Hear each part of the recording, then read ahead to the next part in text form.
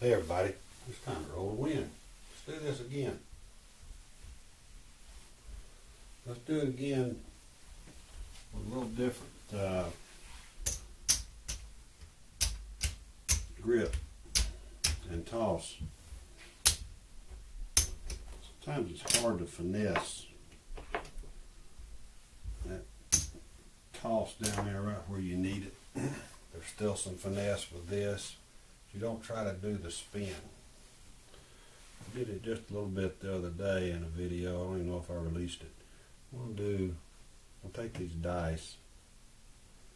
I'm going to set them up. I'm going to lay my fingers right on top. Push them. I missed it because I got them far from my body. I'm going to take and just roll them and grab them on the cut edge, just like that. I'm going to do a cut edge toss. I'm going to lay it down here flat on the cut edge and just lob it. No spin. See what happens. Um, that was a seven, so we'll watch. It might not be the set that we need to be using from this location. I'm just going to take them move a little further into the camera here.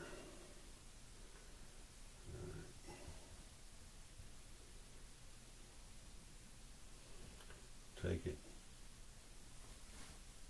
lob it close to the wall.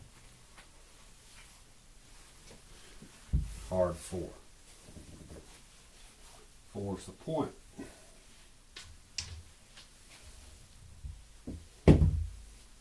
Hardest part is learning how to grip the dice.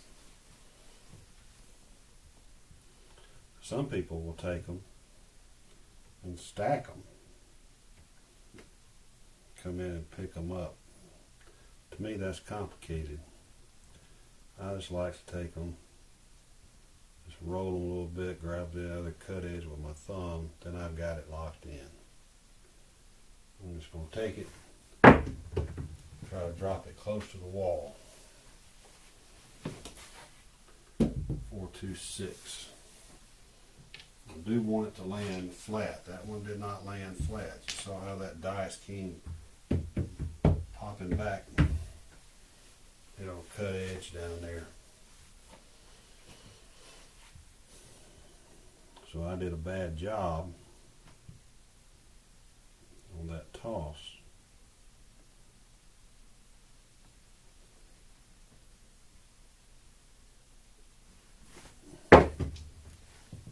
Six two eight. you see they're sitting down pretty good down here. If you're a baseball picture or something like that, it's just kind of a lob. You're just lobbing it down there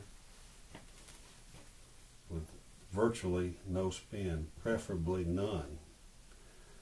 That's what I'm doing, or what I'm trying to do.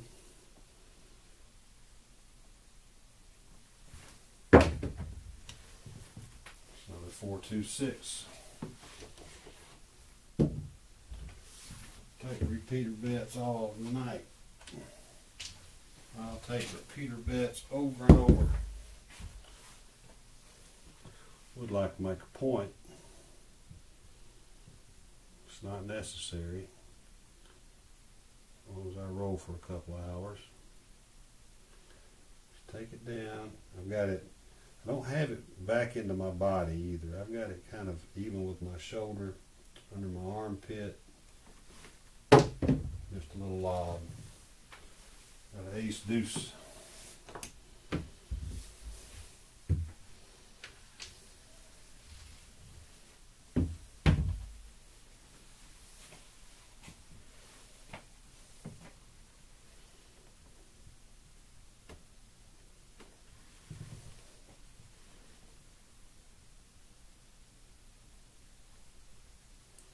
Some people will call this a little short on that toss, but we got a hard four again out of it.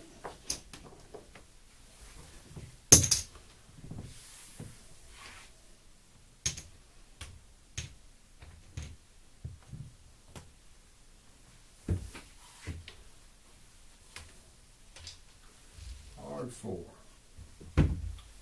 That's not bad. We've had one, two, three, four, five, six tosses. Made the point. All but one is a box number.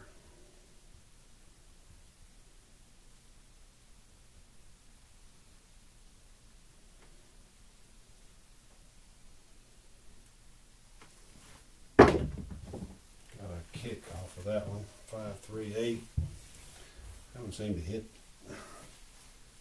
dice over there. Seem to hit this dice here and get kicked. It's gonna happen. All you can try to do is get your set, your stance, get your feet flat, get your knees straight to the table.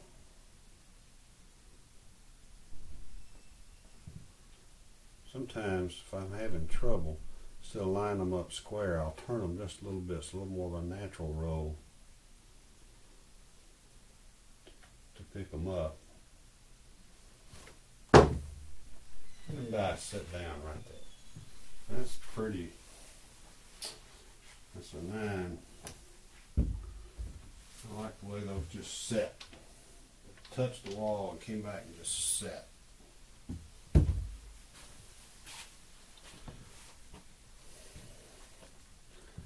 All about making adjustments.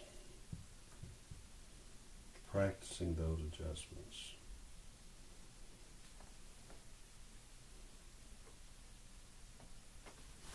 A little short. Six three nine. Anyway, some people would call this a Yuri grip. It's not really. I would say it's a Yuri style of grip. A Yuri grip, I've seen pictures of it and I can't contort my fingers. Uh, I'm nowhere near coordinated. I'd have to have three hands to get one hand on the dice. I am not, I don't even know how you go to, about starting to set that up. I've seen pictures of it. I've tried to figure it out. I couldn't get it anywhere close.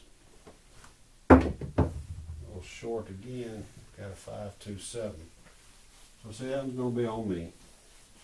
This dice here, both of them landed way up here at this pass line instead of back here. Five, two. All right, we had one, two, three, four, five, six, seven, eight. That's a good number. That's a break-even small profit number on most betting situations.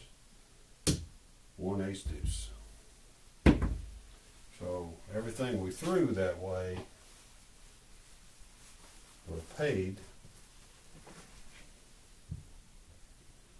Again, you just take it. Some out here a little further. I'm just throwing it. If you have trouble gripping them, rotate it. Rotate it out a little bit, 30 degrees or so. It's more natural to your hand, I think. Once you've got it, you got it right there, like so. So it's really a three finger grip on the edges. Yuri like, but not a Yuri grip. It's also a grip that if you're into the pendulum stuff, you can put a lot of rotation on that. If you're up in the back, I've seen a lot of guys. For me, it's the most natural to throw a drop shot with that grip. I'll take I'll take eight box numbers to one horn number. Lot. Be happy with it. It's a small win. It's not gonna be a big win, obviously. But you got your money back off the table depending on where you're at in your bets. You hit the four as a point. You got an eight as a point. Shooter screwed up threw a seven. Two nines, two sixes. Unless you pressed heavy on the first six and nine, and I never press the first nine or the first five. I'm on them, I take the money on the rack, the first five and nine. If I'd have been a twenty-five dollar table, you know me, I'd have gone to forty-two on the six, took a quarter off, I'd have lost seven. I would have, I would have had a hit, lost seven on an eight, lost my pass line, would have made my pass line bet, which would have been at least single odds back here on that four. Like I say, break even or a small win. That's that's that's still a win. So practice that. Look at it. See if you can grip it. If you don't have a dice station, but you got some old dice, learn the grips. Practice them. Use them in your car. Use them in your office. Wherever you're traveling. Maybe you can't throw it any better than I just threw that one. But just practice the grip. Get your hands used to that. Practice, and you've really got to practice making that. If you're going to try this in a live casino, you've got to practice that grip. Anybody can go down here and get a three finger grip and throw. This one takes a little effort to get used to doing that. Or it did for me. So y'all practice like you play, play like you practice. And let's roll to win.